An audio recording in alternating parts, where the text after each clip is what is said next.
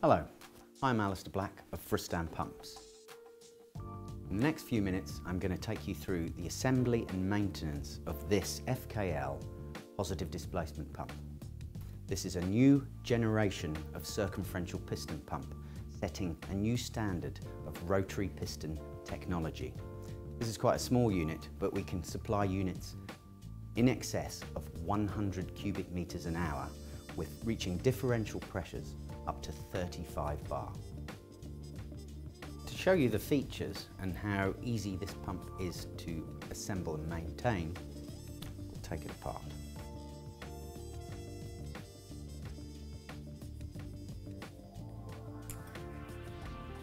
Everything about this pump is designed to make the engineer's life more simple. Just by adding these jacking screws on the front cover, rather than putting a screwdriver in to jack off the front cover, use these simple studs easily remove the front cover. As you can see, we have these hubs on the front cover and correspondingly on the housing.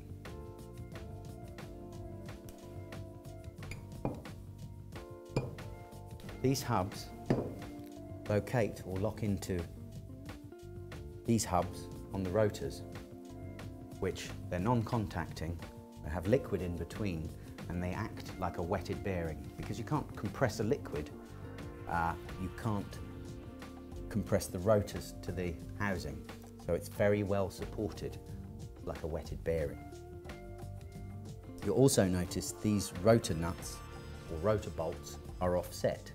They're designed and offset to aid uh, the pump if product sets within the, uh, the, the, hub area.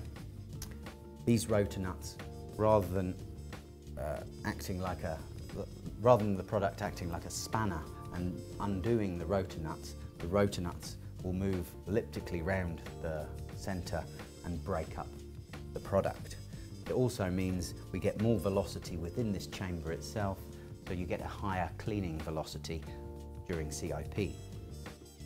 Also, it means you don't have to torque up these nuts as tight because they're not running in the centre of the rotor, so they can't physically unwind.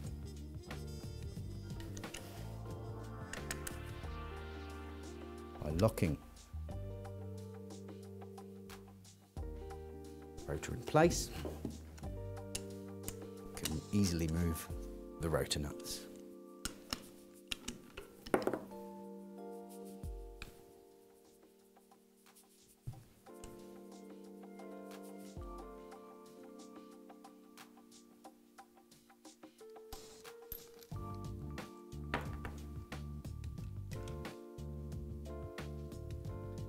Easily see the rotor nut and its offset bolt.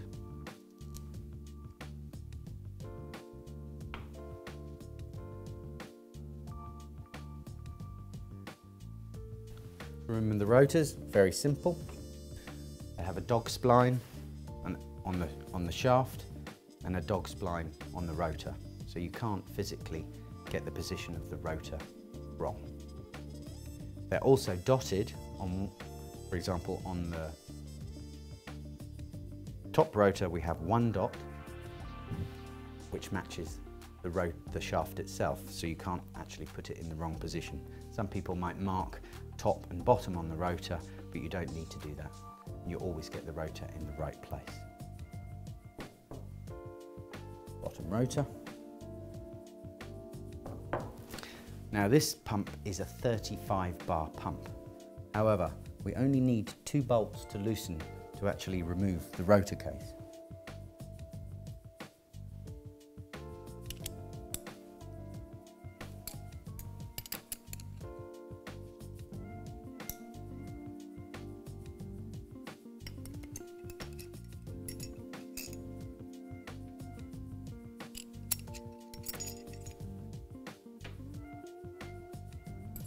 And the rotor case can be easily removed. And I'm not worried about the rotor case actually falling and hitting the shaft or damaging the, the seal. Why? we have these two support rods, which very simple design, um, but it just supports the rotor case so that you can remove it easily. The rotary seal face has a chamfer on either side here and the same chamfer, matching chamfer on the shaft. The mechanical seal itself, the rotary seal, we have two, we can have a single seal or a double seal on the same rotary. This is to reduce the length of the shaft because on a, on a conventional pump you'll have a inboard mechanical seal, outboard mechanical seal which will be quite long but we want to keep the shaft as short as possible so it reduces the deflection, the movement because all positive displacement pumps as pressure pushes against the rotors you have potential contact on this rotor to the housing. Now, we've made the shafts 25% bigger in diameter to reduce deflection and made them shorter to reduce deflection, all allowing us to get a better, a much tighter clearance on the rotor to the housing. A tighter clearance on the rotor to the housing means better efficiency, means uh, improved suction capability and all-round performance. The conventional rotor shape is like this, like a cantilever rotor, and it's supported on this single hub here, whereas our rotor is supported symmetrically in the center of the rotor. So as the pressure acts against this rotor, it acts radially against the rotor and doesn't distort it as much as the conventional rotor, which means these hubs here will move outwards and potentially, or will, under pressure, contact the rotor case. So there'll be every, for every revolution under pressure, you could get contact between the rotor and the rotor case, which is going to reduce the efficiency and obviously put particles in the product. The mechanical seal in, in this design, we've actually gone for one single and one double, just to show you the difference. Uh, for a double seal, the liquid would come in through the center of the seal, through the middle of these two housings, and then through the center of a similar design, and then out through here. But because this is a single mechanical seal, it's just to show the difference. Um, to, to change it, and, and it's designed that way to, to show you that if you wanted to change from a single to a double, it's very simple. We remove this circlip, take out this uh, nylon, and then replace it with a rear uh, station, um, stationary seal. And I'll quickly remove the, uh, the mechanical seal to give you an idea what it looks like and how easy it is.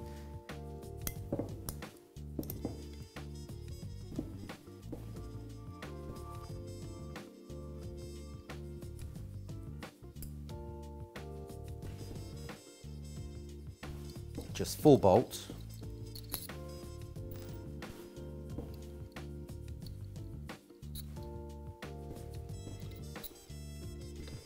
We can manage to remove this housing. As you can see, we have the inner face and the outer face.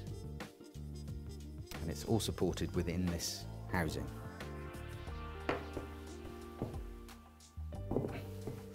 To remove the seal,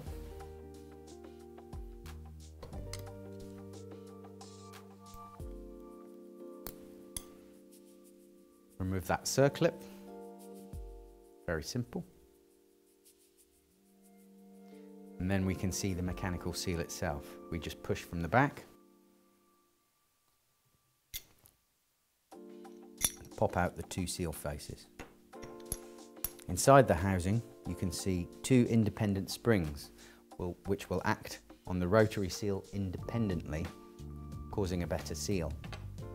You have an O-ring on the outs, outboard and an O-ring on the inboard to seal the mechanical seal. But it's very simple. This has no locking screws or, or locking, locking screws or grub screws, so your only weakness is the material itself, making it very strong. We have two pins here, so it's very easy to locate the inboard seal into position and the outboard seal just clips into place. Push down, that's the seal position. Quickly put in the circlip, no special tools required. That is your mechanical seal replaced.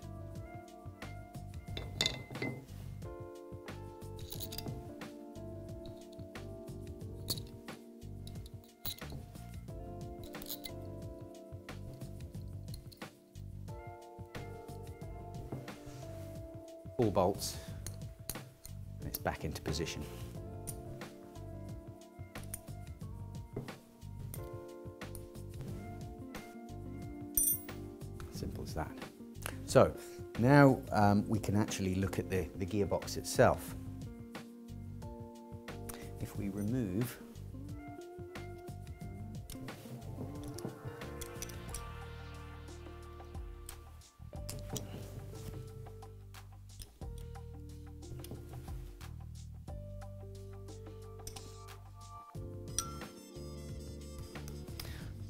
another feature that you might have noticed on, on this pump is we're not actually using lip seal designs on the gearbox, we're actually using labyrinth seals and that's a convoluted path the labyrinth seal has and it also has two faces like a mechanical seal to seal um, and stop oil getting out. Uh, it, it, means just much more longevity of that mechanic, uh, the, that seal itself. So oil doesn't get out, but at the same term, product can't get in. And we, we even have a labyrinth seal on the back to stop high pressure hoses, oil coming in or water coming into the oil from high pressure, pressure hoses. So again, it's just much more robust.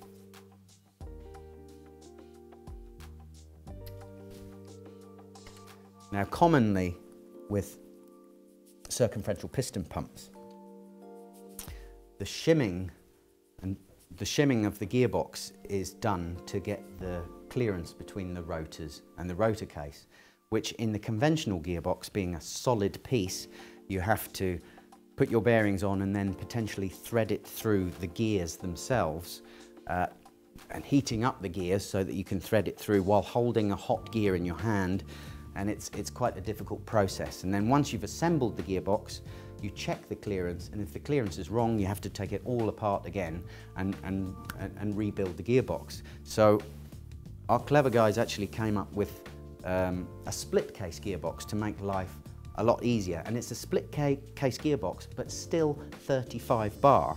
And we have a unique and very simple design, again, trying to make life easier to, to jack the gearbox apart, we have two jacking screws, one here and one here. And very simply,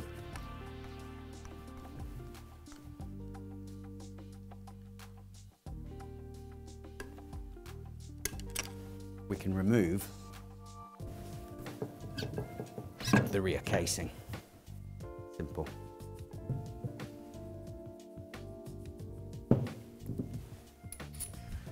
Now we're already into the gearbox. You can see the can see the labyrinth seal in the rear part. This is actually a stainless steel gearbox. A lot of pumps are supplied with cast iron painted, but you can also buy this uh, as a stainless steel unit It's better for um, lots, lots of people using cleaning foams now, which is like paint stripper, um, and, and removes the paint from gearboxes quite easily. So uh, we also have this option of a stainless steel gearbox. And we, we use a, an O-ring in the gearbox rather than a, a paper gasket. Just makes it more secure, much more uh, longer lasting. So to remove the shaft is very simple. I must show you the timing of the gearbox is all done with the gears. Sorry, the timing on the rotors is done with the gears. So we have this 12 o'clock position on the shaft keys. As long as they're facing upwards, we can get the timing right on the rotors themselves. So it's very simple and easy to maintain. We also use straight cut gears rather than helical gears. Helical gears are good, they keep the noise down.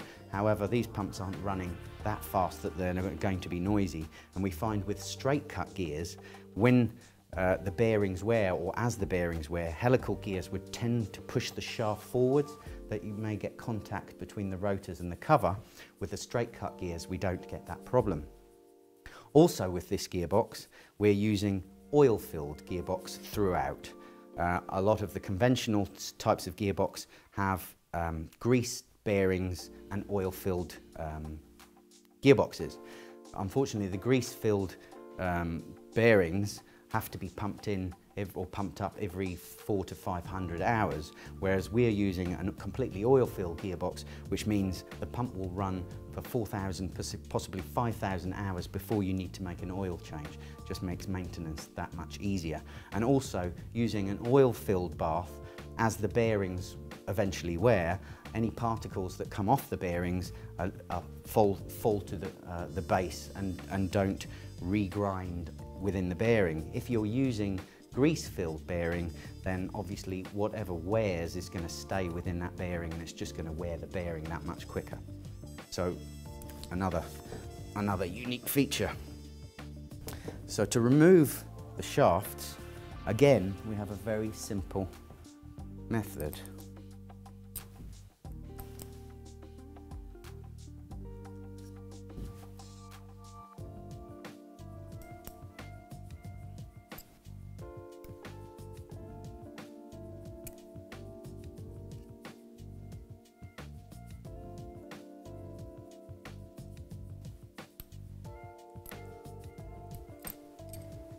Easily remove the shaft.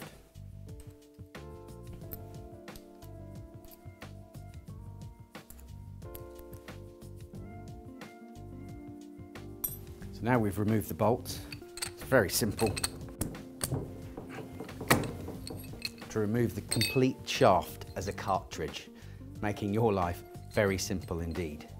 And as you'll notice, because we've got a split case gearbox, we have bearings here and bearings here, rather than in the conventional design, we'd have a bearing here and maybe here on a longer shaft, and you would not get that same support as you do for the gears. Having the bearings here and here, we get a lot more support, or a lot better support uh, for that gear itself. And that's as how, how, or that is as simple as it gets to remove a shaft. As you can see, I've just removed that. We do have the shimming in the gearbox. Because it's a robust pump at 35 bar, the gearbox needs to be shimmed just to make it that much more robust. But as you can see, it's a very simple method to remove the shaft.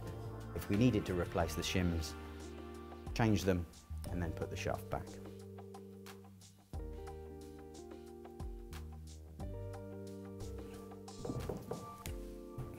And it's as simple to put the shaft. You, you could actually buy this shaft as a complete cartridge and keep it on the shelf if you wanted to. Uh, however, I don't think we've replaced many of the gearboxes because the pump is so robust. Um, we've, we have not had to replace many gearboxes at all or shafts.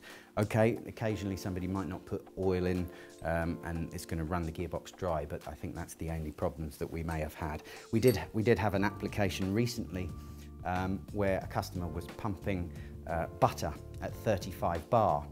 Uh, somebody closed a valve on the discharge and the rotors did actually contact the housing. The pressure they reached was 65 bar. They sent it back to us wondering what, uh, what had happened and obviously we could tell it had been overpressurized and they confirmed it was 65 bar. We cleaned up the rotors, cleaned up the housing, put them back in again put the pump on test and away it went again and it's still running today and that's robust. So to put the shaft back in, obviously we must line up those gears as I mentioned earlier, but it is simple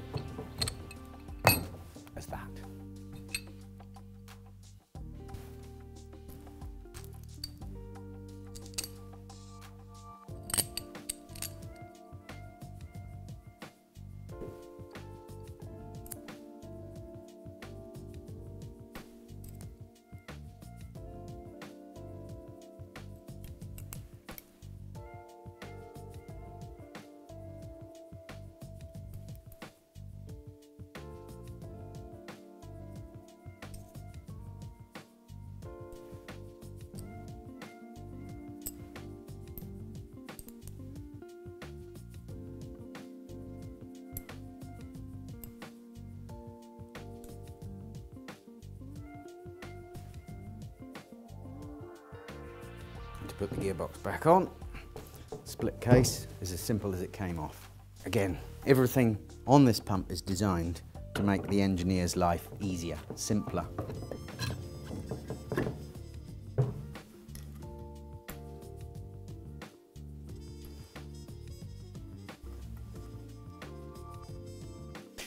Some people might say, well, I don't need 35 bar on this pump. I, my, you know, my pressure is, is, only, is only 20 bar or maybe 15 bar. And yes, that's, that's true, but uh, if the price is competitive on these pumps, which they are very competitive, you're actually getting more value for money. And we, we did actually have an application whereby the customer had a very simple duty, but was on an evaporator, but the existing pumps that they were using were failing every three to six months. They changed to this design of pump, I think six years on, apart from a couple of mechanical seals they've replaced, they haven't had any issues with these pumps at all.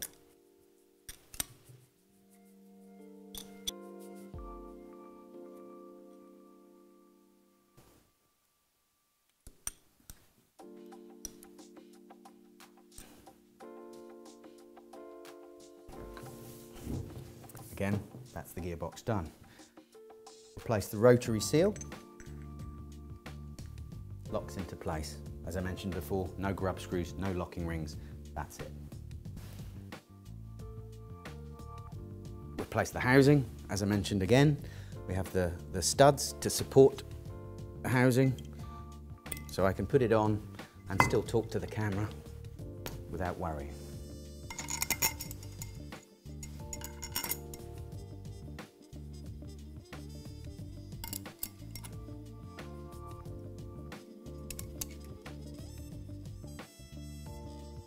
As I mentioned before, two studs, 35 bar. Simple.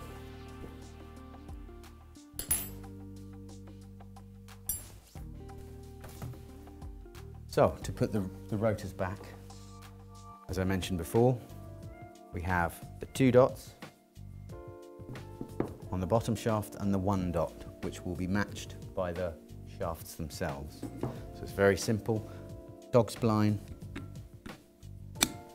one, two.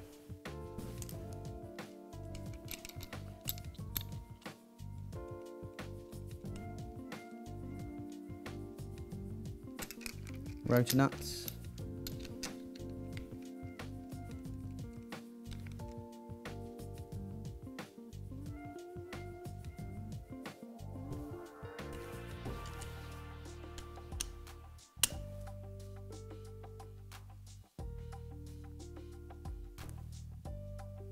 The rotors. Settings can be found in the manual. Simple as that. Front cover.